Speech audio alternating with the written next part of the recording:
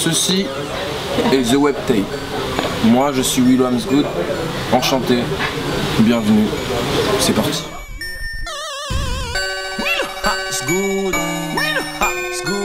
J'ai 26 ans, je- ça fait 10 ans que je fais de la musique, que je fais du rap.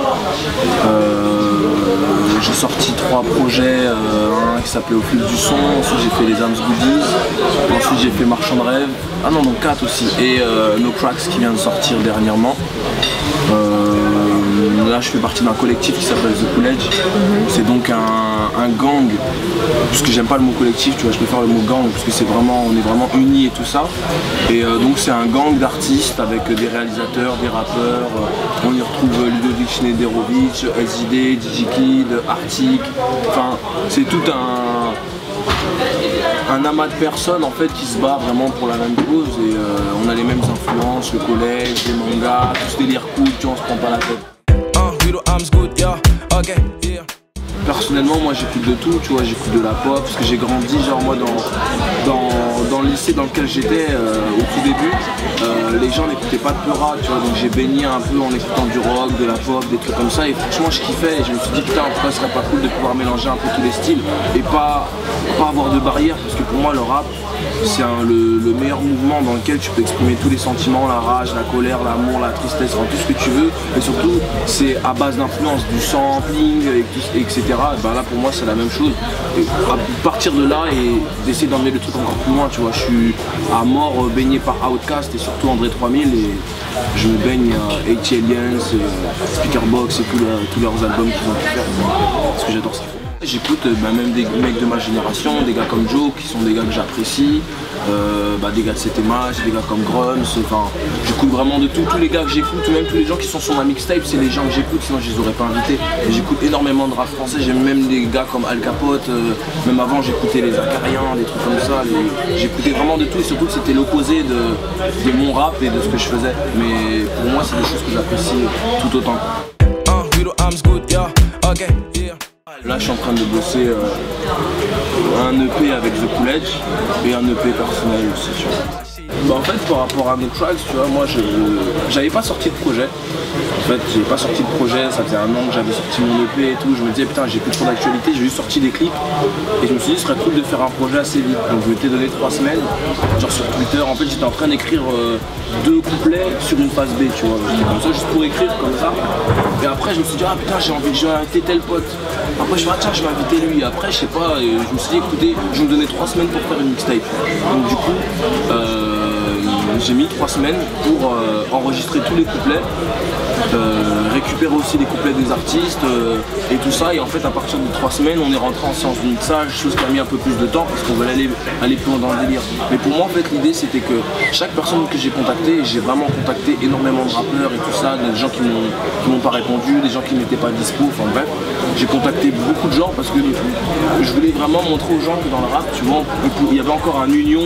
Et même si, comme je disais souvent, qu'on va pas tous s'aimer, mais on peut euh, se retrouver un bon groupe à faire des projets ensemble, comme les mixtapes à l'ancienne, les néochromes, euh, toutes ces mixtapes que moi j'ai les Street Street ou je sais plus, enfin les trucs de même les BOSS, et réunir euh, 4-5 artistes sur un même morceau. Et en fait, ce qui est bien par rapport à nos c'est que les gens ne savaient pas avec qui posaient. Ils découvraient euh, leur artiste, genre quand j'envoyais les mix et des trucs comme ça. Il y a des gens qui étaient contents, qui disaient Ah merci, tu m'as placé avec un tel, c'est stylé et. Et au final, bah, tu as 17 titres avec 56 artistes. Donc c'est un projet bien dense, c'est vraiment très très rap. Mais euh, ça n'a rien à voir avec ce que je fais de, mon univers actuel. Mais c'est juste pour montrer aux gens que bah voilà, s'il y a des mixtapes à faire, euh, je peux euh, réussir le challenge de faire une mixtape. Ouais bah en fait ce soir donc je joue au nouveau casino de Paris. Et euh, ce qui est bien c'est que j'ai 30 minutes pour pouvoir un peu montrer mon univers aux gens et tout ça.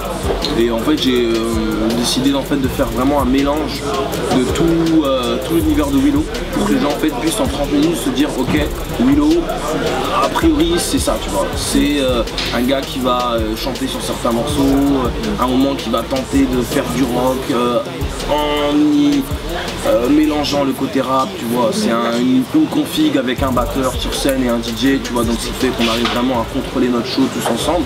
J'ai invité quelques artistes en fait pour que hum, les gens puissent découvrir euh, d'autres gens, tu vois. Parce que moi, en fait, quand j'ai commencé euh, à faire du rap, personne m'a aidé.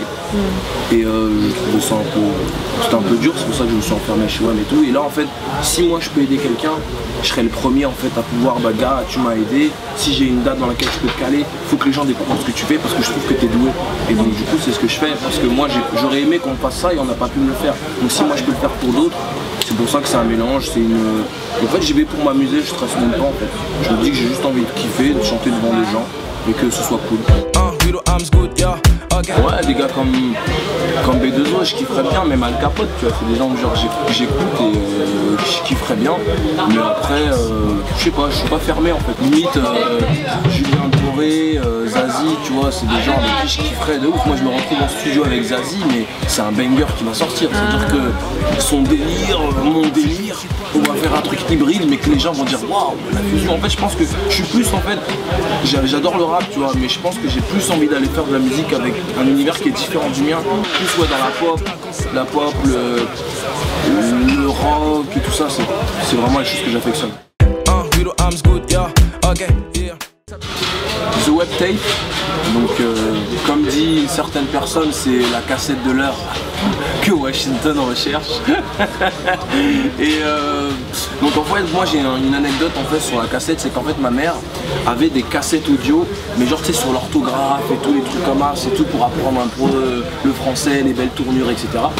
Et euh, c'est des cassettes rouges. Et en fait, nous, on n'avait plus de cassettes vierges pour enregistrer toutes les émissions de radio et tout.